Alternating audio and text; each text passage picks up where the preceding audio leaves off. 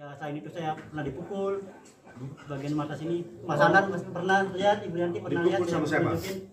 Salah satu itu salah satu yang yang apa penguasa gedung itu.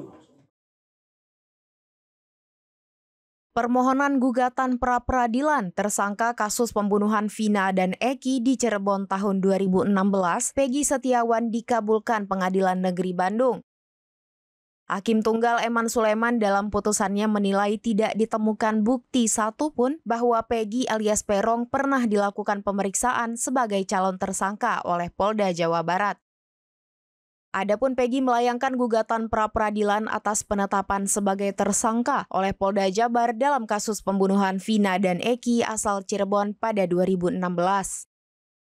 Gugatan pra-peradilan Peggy yang diajukan pada 11 Juni 2024 itu terdaftar dengan nomor 10 garing pit titik pra garing 2024 garing PN Bandung.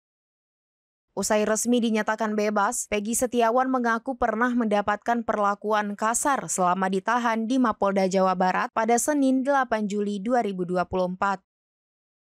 Ia mengaku dipukul oleh salah seorang penyidik yang disebut sebagai penguasa tahanan. Mengutip tribunnews.com pada Selasa 9 Juli 2024, dalam konferensi persnya di Bandung, Jawa Barat, Peggy mengaku dipukul di bagian mata. Beberapa orang yang menjadi kuasa hukum Peggy disebut sempat melihat bekas pemukulan di matanya. Peristiwa itu terjadi sebelum ada kuasa hukum yang mendampinginya. Tak sampai di situ, Peggy juga mengaku pernah dibekap wajahnya dengan kantong plastik. Perlakuan itu diterima setelah ibu dan kuasa hukumnya datang. Dirinya mendapat intimidasi verbal dari polisi dan dipaksa mengakui telah membunuh Vina dan Eki di Cirebon pada 2016 silam. Namun kini Peggy bisa menghirup udara bebas setelah pra-peradilannya dikabulkan oleh Hakim Pengadilan Negeri Bandung. Ada semacam kata-kata kasar banyak sekali ancaman-ancaman sekali terus. Ya selain itu saya pernah dipukul di bagian mata sini. Mas Andan mas pernah lihat, Ibu Yanti pernah lihat. Sama siapa? tunjukin. Salah satu itu salah satu yang yang apa penguasa gedung itu sepertinya gitu.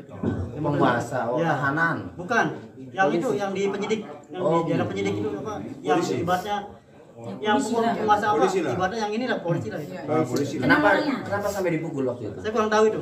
Ya, Ya mungkin artinya eh, nanya dulu kah atau langsung mukul ya gimana? mereka bilang di bawah saya pembunuh ini, ya, mereka bilang saya nggak punya hati nurani, mekul saya. Gitu. Download Tribun X sekarang. Menghadirkan lokal menjadi Indonesia.